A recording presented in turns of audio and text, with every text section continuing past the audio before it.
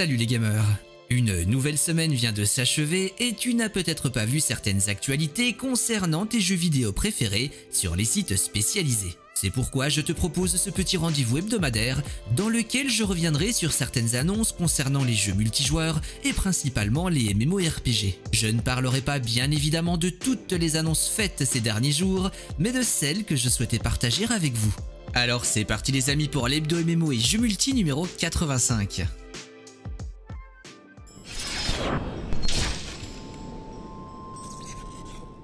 Amazon Game Studios nous a dévoilé ce mois-ci une toute nouvelle arme pour son MMORPG New World. C'est sur Twitter que nous avons pu découvrir dans une très courte vidéo d'une vingtaine de secondes cette dernière. C'est donc le gantelet de glace qui vient rejoindre la liste des armes disponibles pour les joueurs de New World. Il faudra pour le moment nous contenter du peu d'informations que nous pouvons tirer de ce petit teaser. En effet, le studio n'a pas encore communiqué davantage avec une présentation du gantelet de glace. Je ne doute pas cependant que, comme d'habitude, nous aurons droit prochainement à un article de présentation dans la rubrique Actualité du site officiel. Cependant, nous pouvons déjà voir que cette arme de type magique permettra par exemple de poser une sorte de glaçon sur le sol. Une fois sur le sol, je ne sais pas encore comment il agit sur les ennemis. Une autre compétence permet de faire surgir des pics de glace du sol et nous pouvons également observer une sorte de souffle de glace. Visiblement, ces gantelets permettront aussi d'invoquer un mini blizzard autour de son personnage. Je trouvais justement que New World ne proposait pas suffisamment d'armes pour ceux voulant jouer avec de la magie. Jusqu'à présent, il n'était possible de jouer magique avec le bâton de feu. Je ne compte pas le bâton de vie qui lui est plus orienté sur le support et les soins. Voilà donc une bonne nouvelle pour les joueurs appréciant les gameplays tournant autour de la magie. Reste à présent plus qu'à attendre jusqu'à la présentation complète de ces gantelets de glace. Le MMORPG free-to-play Blaze Unleashed, actuellement disponible sur les consoles de Microsoft et de Sony, est toujours en préparation pour une sortie sur PC cette année. Dans un communiqué publié cette semaine, le studio Randuit a annoncé les dates de la prochaine phase de test de la version PC. Normalement, il devrait s'agir de la bêta fermée finale, c'est-à-dire de la dernière. Celle-ci se déroulera du 13 au 17 mai. Vous pouvez vous inscrire pour tenter d'y participer, soit depuis la page Steam du jeu, soit depuis le site officiel. Je vous propose les deux liens en barre d'infos. Attention, si vous résidez en Belgique, vous ne pourrez pas accéder à la page Steam de Bless sans un VPN. Durant ces quelques jours d'accès au serveur du jeu, vous pourrez découvrir et tester les différentes modifications et améliorations apportées à l'interface ainsi qu'au système de combat. Pour rappel, je vous avais déjà partagé la liste de ces changements dans différents hebdo MMO et jeux multi, raison pour laquelle je ne vais pas à nouveau rentrer dans les détails. La boutique présente en jeu sera également accessible les participants à ce dernier test bénéficieront d'un certain montant de Lumena, la monnaie de la boutique, afin de tester là aussi si tout fonctionne bien. Le nouveau MMORPG dont nous allons parler à présent ne bénéficie d'aucun trailer, c'est pourquoi je ne peux vous proposer que quelques images du jeu. Voici donc Elementia, un MMORPG actuellement en développement avec un style graphique low poly. Les personnages et les environnements proposent des visuels simples et légèrement anguleux. Au final, cela donne un aspect rappelant une bande dessinée et au vu des quelques screenshots, ce n'est pas, je trouve, désagréable à l'œil. Vous vous en doutez certainement, si nous ne disposons même pas encore d'un trailer, c'est que le jeu se trouve encore dans une phase de développement précoce. Nous n'avons pas non plus beaucoup d'informations, mais voici quand même ce que je peux déjà vous dire. Une fois que vous avez créé votre personnage, le titre ne vous proposera pas une progression basée sur les niveaux. C'est l'équipement que vous utilisez qui fait votre progression. En fonction également des armes que vous choisissez d'équiper, votre avatar disposera de différentes compétences. Vous pouvez donc incarner différents rôles selon ce que votre personnage portera comme arme et armure. Ensuite, plus vous utilisez un certain type d'équipement, plus vous vous améliorez avec ce dernier et plus vous développerez de compétences pour celui-ci. L'artisanat et le commerce sont également très importants, parce que l'économie dans Elementia est entièrement créée et gérée par les joueurs. Artisans et commerçants devraient donc jouer un grand rôle. En ce qui concerne les activités, le jeu devrait proposer des donjons, des raids, mais aussi des world boss. L'exploration ne devrait pas être mise de côté puisqu'il est question également de grottes cachées, de puzzle jump ou bien encore d'énigmes à découvrir. Les guildes disposeront d'un endroit réservé à leurs membres nommé les salles de guilde. Cet endroit proposera aux guildes de disposer de leur propre salle dans les principales villes du monde d'Elementia. Actuellement, il n'y a aucune date de sortie annoncée, mais un premier test alpha devrait être réalisé prochainement. Là aussi, aucune date. Et si vous vous demandez quel sera le modèle économique adopté par le studio à la sortie du jeu, qu'est-ce que l'on répond? Eh bien on répond que l'on ne sait pas encore non plus. Bon, ça va, on connaît au moins le nom du jeu. En attendant d'en apprendre davantage sur Elementia, j'espère que nous disposerons d'un trailer prochainement histoire d'en voir un peu plus. Il y a quelques jours, Perfect World Entertainment a annoncé durant une conférence de presse un tout nouveau MMORPG prévu pour PC et console.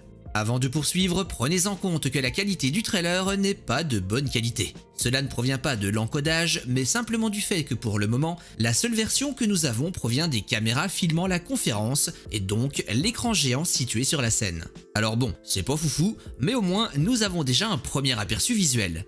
En ce qui concerne les informations concernant ce tout nouveau jeu, je n'ai pas pour le moment beaucoup de choses à vous dire, mais voici ce que nous savons. Perfect New World, donc ça c'est le nouveau MMORPG, est actuellement en développement et il n'y a pas de date de sortie. Le titre sortira d'abord sur les consoles de nouvelle génération de Microsoft et de Sony et ensuite sur PC. Le monde du jeu devrait être immense et sans écran de chargement. L'histoire sera plus riche que celle proposée aux joueurs dans le MMORPG Perfect World. Les combats devraient être dynamiques et avec un gameplay action l'outil de création de personnages sera particulièrement poussé. Le jeu devrait prendre en charge les technologies RTX et DLSS de Nvidia.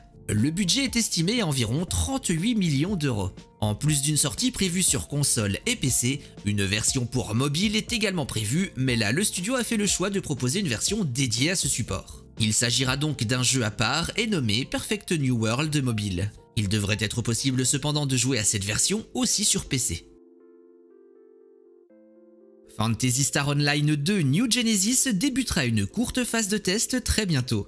Le MMORPG de Sega verra en effet ses serveurs ouverts dans le cadre d'une bêta mondiale du 15 au 17 mai. Prenez en compte que cet accès temporaire ne sera disponible que pour la version PC via l'application Xbox. Si vous êtes intéressé pour participer à la bêta, vous pouvez vous inscrire à partir de 19h le 21 avril via l'application Xbox Insider Hub. Attention, ce test global aura un nombre limité de candidats et ceux-ci seront sélectionnés en fonction de l'ordre dans lequel les demandes ont été envoyées. Les plus rapides seront donc les premiers servis. Les heureux élus recevront une récompense de participation mais pour le moment, nous ne savons pas encore de quoi il s'agit. Pour rappel, le titre est prévu pour cette année sur PC, Xbox One, Xbox Series, Nintendo Switch, PlayStation 4 et PlayStation 5. Est-ce que ça vous dit d'avoir quelques nouvelles du MMORPG Corepunk? Non? Bon, bah tant pis, mais j'en parlerai quand même, et bim Dans une petite session de questions et réponses, les développeurs du studio Artificial Core nous ont dévoilé de nouvelles informations.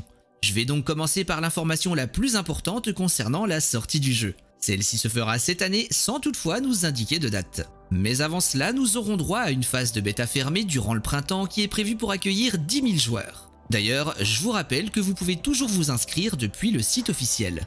Maintenant que le sujet principal concernant la sortie a été abordé, place maintenant à quelques informations en vrac. Il sera possible de défier en duel vos amis ou même les autres joueurs. Le jeu proposera des objectifs difficiles à accomplir et qui pourront vous récompenser avec par exemple des montures plutôt rares. Les groupes sont conçus pour réunir 4 joueurs. Au-delà de 4, vous formez alors un groupe de raid. Vous pourrez inspecter le profil des autres joueurs. Un système de ping sur la carte pour indiquer différents endroits sera disponible.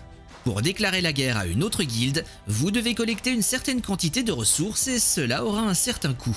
L'autre guilde n'a pas besoin d'accepter une guerre car vous pouvez déclarer la guerre unilatéralement. Les guildes en guerre se verront comme hostiles. Vous gagnerez plus de points d'honneur en tuant des membres d'une guilde ennemie et ne perdrez pas de points de karma. Les guildes bénéficieront d'items cosmétiques à mettre sur vos personnages.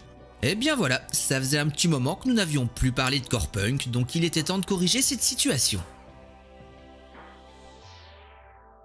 Et voilà bande de petits filous, c'est ainsi que se termine cet épisode de l'Hebdo MMO et Jeux Multi. Comme d'habitude, j'espère que celui-ci vous aura plu et si c'est le cas, eh bien je vous invite fortement à y lâcher un petit pouce positif. Et si tu es un petit fifou de la vie, tu peux aussi y lâcher un commentaire.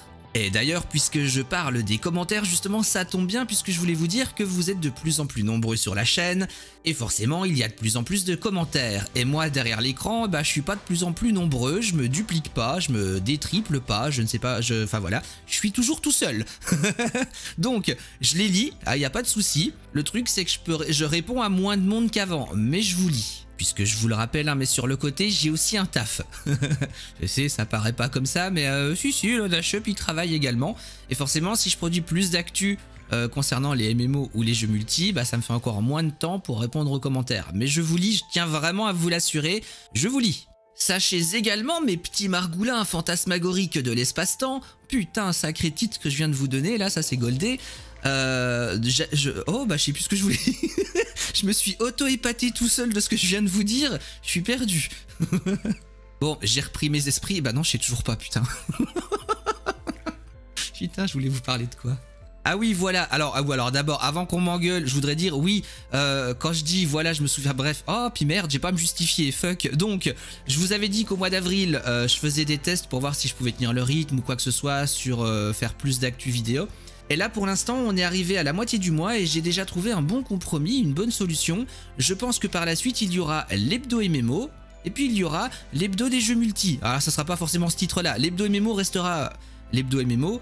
Pour les jeux multi, je sais pas encore comment je l'appellerai, mais je pense que je vais vraiment scinder en deux, les MMORPG d'un côté et les jeux multijoueurs de l'autre, ce qui me permettrait de faire deux séries de vidéos par semaine, un hebdo MMO et on va l'appeler une actu jeu multi pour l'instant. Par exemple, je sais pas moi, les jeux multi les mercredis et puis euh, l'actu des MMO le vendredi ou le samedi. Comme ça, bah du coup, on a deux types de vidéos, mais ça permet d'offrir bah, à vous en fait, aux viewers, une meilleure clarté. C'est-à-dire que si vous regardez l'hebdo MMO, il n'y aura que des MMO RPG dedans. Or là, pour l'instant, c'est l'hebdo MMO et jeux multi. Voilà, je sais pas ce que vous en pensez, pour l'instant, c'est sur ça que je pense m'orienter. Du coup, je garderai le même système de miniature pour l'hebdo MMO, comme ça, bah, vous n'êtes pas perturbé, hein, on est sur le même système, c'est-à-dire une image d'arrière-fond euh, dans, la Oh, articule Une image d'arrière-plan dans la vignette qui représente l'un des jeux dont je parle, avec le gros rectangle noir, vous savez, avec marqué hebdo MMO et jeux multi, sauf qu'il y aura plus jeux multi. Et puis pour les jeux euh, multi, justement, il y aura une autre vignette qui sera différente, histoire qu'elle se différencie bien des actualités des MMORPG. Bon, bah, je suis en train de m'en mêler là dans mes, dans mes neurones, donc je vais arrêter là. Moi, je vous souhaite à tous d'excellentes sessions de gaming. Et puis, comme toujours, peu importe à quel jeu, vous allez... Oh, j'ai oublié Chut, restez, partez pas Oui, je sais, il y a Swords of... The... Comment il s'appelle ce truc déjà? Il y a Swords of Legends Online. Je sais qu'ils ont sorti euh, des petits trailers là concernant les classes, les présentations des classes. Euh, j'en ai pas parlé là cette semaine dans, dans cette actu MMO, c'est parce que je pense en faire une vidéo dédiée. Puisque ça va être un peu long d'écrire les six classes. Donc du coup, peut-être qu'il y aura une vidéo dédiée qui sortirait sur, euh, sur les classes de Swords of Magic Legends. Pas du tout. Swords of Magic Oh, sur, solo. Allez, j'arrête là. Gros bisous. Euh, Kissou, bye bye. Tchuss, euh, like, abonne-toi. Merci.